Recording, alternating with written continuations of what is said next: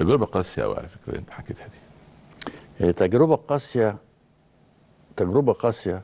واحد آه إن إحنا ما هاجمناش ومفيش النصر الواحد ما حصلش حرب. ما حصلش حرب. مفيش جندي قابل جندي. مفيش. خالص. الحاجة التانية الجبروت بتاع العدو يعني في ممر مثله في وسط الحياة والموت الواحد كان عايشها والنابالم بيضرب. ولاقي الطيارة نازلة وبتبيد النابالم على د- ها- كنت عاوز يعني في نفسي بقول إيه ده أنا واحد منكم كنت ماسكه امبارح وبجيب له الشاي درغام بيديله الشاي وبنحس. إيه إيه الافتراء ده؟ بس أنا بضحك على نفسي. ما الحرب هي كده. الحرب ما فيهاش ما العدو بتاعك ملوش وجه. إيه الشعور اللي كان جواك؟ قلت إيه لنفسك؟ حملت المسؤولية لعبد الناصر وعبد الحكيم عامر ولا للمشير لوحده ولا لعبد الناصر لوحده؟ هقول لك الوصف ال ال ال اولا كان في ضباط كتير قوي من المنسحبين بيشيلوا الكتافات بتاعتهم مم. مش عارف ليه يعني افتكروا إن الطيارة هتشوف الكتافة فهتضرب على الظابط أنا سبت الكتافات بتاعتي م- فرحان بالنجمة اللي أنا.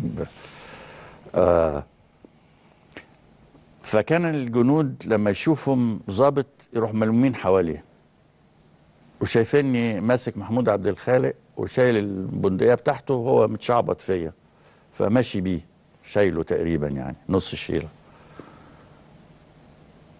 فكان كلامهم إيه؟ الطيران بتاعنا فين يا فندم؟ ده كان السؤال. طيراننا فين يا فندم؟ طيراننا فين يا فندم؟ بس ما حدش فكر يعني. أنا أنا أنا أنا أنت مفكر حملت المسؤولية ما حملتش. مين؟ تخيل بقى إن أنا وصلت عبرت القناة وكنت واخد شظايا في رجلي. مم.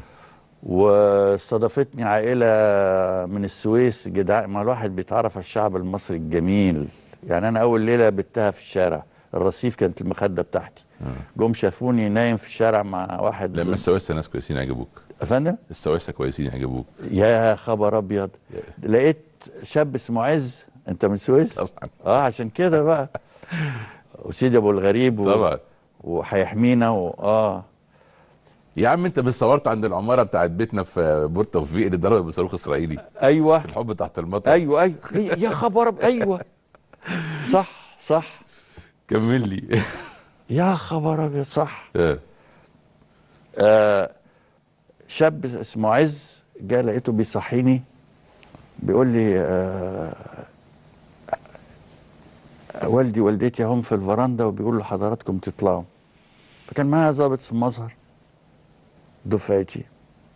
فطلعنا طبعا جايين منسحبين وبترابنا وبدمنا طلعونا فوق. وشربت أحلى خروب في حياتي.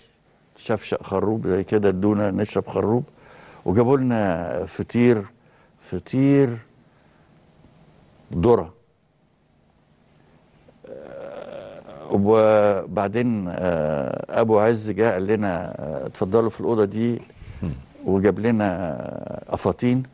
وقال لنا قلعوا الأوفرولات بتاعتكم عشان الحاجة هتغسلها لكم. تخيل.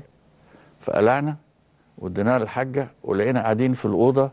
كل واحد على كنبة اسطنبولي. نمنا وإحنا قاعدين كده قاعدين باصين لبعض من التعب. رجعت القاهرة بعد كده وبدأت حرب الاستنزاف. شاركت فيها. لا أنا هقول بقى حاجة في القاهرة إن أنا آه، زرجنت في القاهرة. أنا رجعت القاهرة. مم. اولا حطونا في عربيات آه، اولا جينا خدنا القطر عشان نروح الإسماعيلية. المهم رحنا إسماعيلية خدنا أتوبيس من إسماعيلية وقفونا في حتة اسمها العباسة. جماعة من الاتحاد الاشتراكي بالأفاطين كده. وبالخرزانات طلعوا في الأتوبيس قالوا قوات مسلحة تنزل من الأتوبيس. أنا ما عملتش حاجة بس كان في ثلاث أربع ضباط معايا لقيتهم شدوا الأجزاء وقالوا لهم لو مش هتنزلوا هنفضيها فيكم. طبعا جريهم بتوع الاتحاد الاشتراكي. آه، اول ما وصلنا القاهرة لقينا آه، وقفونا ونزلونا ركبونا آه، عربيات زل. عشان نروح آه، آه، مركز آه، تجميع الخسائر. قدام ماسبيرو نطيت أنا والظابط زميلي نطينا من ال- العربية وهي ماشية. وقفنا تاكسي. رحت شقتي كانت قدام دار القضاء العالي. خدت و- ورحت كلمت والدتي من السنترال في اسكندرية. قلت لهم أنا عايش. افتكروا إنك أنت مت. افندم افتكروا إنك أنت مت. آه كانوا فاكرين أنا ميت. خاصة إن حصل بلاغ ما أعرفش من مين إن أنا اتضربت بالنابالم عشان الله يسامحه اللي عمل البلاغ ده. المهم. أظن والدتك كانت بالنسبة لها منهارة. بقى كيف؟ لما سمعت صوتك. مع أصل آه ابن عمها كان آه آه الله يرحمه آه مصطفى كمال حلمي. اللي هو كان ماسك الشورى. فهو الوحيد اللي, بيسألوه عليا عشان كان ساعتها آه، وزير التعليم العالي تقريبا. صحيح. تربية والتعليم. التربيه والتعليم ساعتها صح. فبتسأله بت... ب- والدتي بتسأله فسأل الصليب الأحمر أو الهلال الأحمر فكان اسمي مدرك في الخسائر اللي هي محروقة بالنابالم يا. فطبعا إن أنا بكلمهم يوم تسعة بقول لهم لا أنا أنا لسه